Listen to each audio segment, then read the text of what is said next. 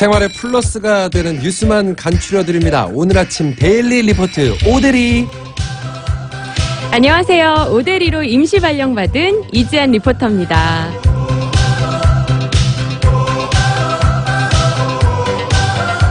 자, 그럼 첫 번째 오데리 뉴스부터 볼까요? 네, 서울에 첫눈이 내렸던 지난 토요일에도요, 박근혜 대통령 퇴진을 요구하는 제5차 주말 촛불 집회가 어김없이 열렸습니다.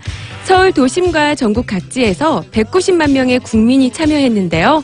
사상 처음으로 청와대 앞 200m까지 시민들의 형 행진이 허용됐었죠.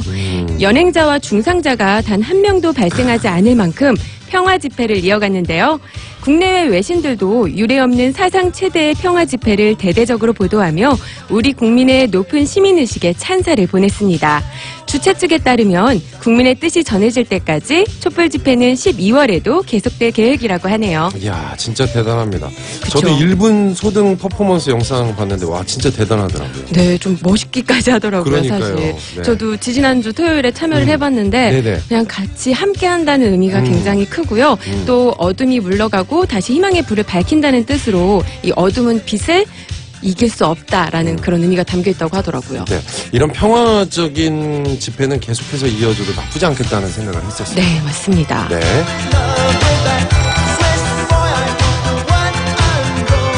네, 두 번째 오데리 뉴스는 뭔가요? 네, 김한 아나운서는 정년을 채운다면 어, 얼마나 남은 거죠? 저는 20년, 예, 20년 조금 남은 것 같은데요? 과연 그럴까요? 왜 그래요? 갑자기 무섭게.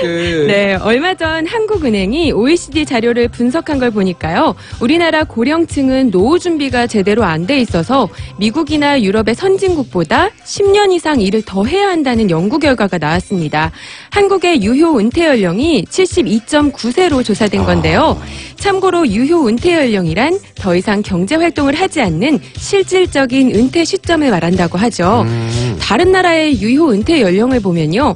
미국은 65.9세, 영국은 64.1세로 우리나라가 6년에서 10년은 더 늦은 셈입니다. 그만큼 우리나라 노년층이 일을 더 오래 해야 한다는 거겠죠. 아, 진짜 이런 건 바뀌어야 됩니다. 그쵸. 네. 노후 준비 철저히 하셔야겠죠. 네, 이거는 정말 지금부터라도 조금 졸라매야 되겠다라는 생각이 듭니다. 네, 갑자기 마음이 무거워지는 것 같습니다.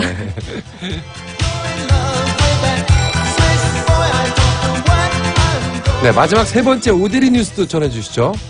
네, 30대인 김한 아나운서도 주목해서 들으셔야겠습니다. 아, 또요? 네. 네. 지난해 건강검진을 받은 사람들 중 남성은 30대 비만율이 가장 높았고요. 여성은 70대 비중이 제일 컸다고 합니다. 음. 구체적인 비율을 보면요. 30대 남성 중 44.7%가 비만이었는데요. 네? 거의 두 명 중 한 명이 비만이라는 겁니다. 야, 이건. 네. 반면 여성은 70대가 39.3%로 비만율이 높았습니다.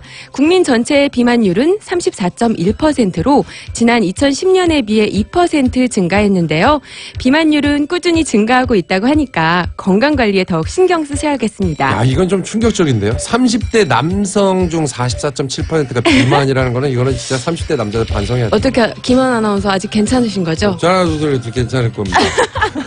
그럼요. 정글 한 예. 번더 갔다 오시면 되죠, 뭐. 아니 뭐 정글을 다이어트로 보내요. 다들 자꾸. 아 참나. 어쨌든 여성은 70대가 39.3% 다들 조금씩 조심해야 되겠다는 생각이 듭니다. 그렇죠. 그리고 여자는 아무래도 365일 다이어트기 때문에 네. 70대면 뭐 네. 아직은 괜찮지 아, 않겠습니까? 이제부터 어떻게 관리하세요? 저는 다이어트? 원래 말로만 하고요. 아, 다이어트 잘안 하셔도 될. 것 같은데요. 아, 감사합니다. 네, 박지영님께서 외모도 이쁘신 분이 목소리도 참 예쁘고 차분하시네요 라고 보내주셨어요. 아, 감사합니다. 서승남님이 5대2 이쁘시네요. 크크는 뭐예요? 그러게요. 안거 아니죠? 알겠습니다.